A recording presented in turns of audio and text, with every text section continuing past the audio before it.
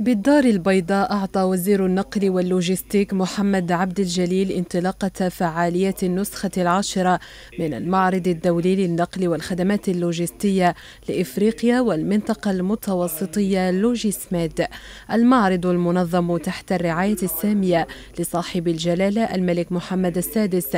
تحت شعار تعدد القنوات ثورة حقيقية في لوجستيك التوزيع اتجاهات وتحديات يركز على على رهانات تعدد القنوات في لوجستيك التوزيع والتحديات الكبرى في مواكبة التغيرات الاقتصادية العالمية. اليوم الموضوع هو آه، تقولوا له سموه بالفرنسية l'omnicanalité أو آه، القنوات ككل.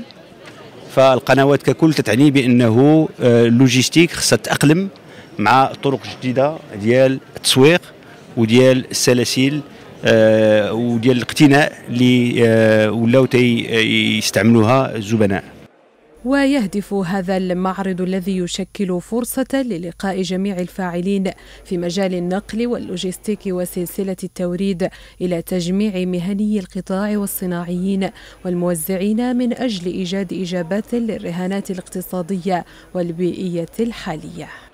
هذه الأهمية اللي تعطيها لهذا القطاع المهم آه، اللي تيلعب واحد الدور آه، في بالنسبة للاقتصاد الوطني ولا بالنسبة للشركات المغربية لتقويه تقويه المنافسة ديالهم.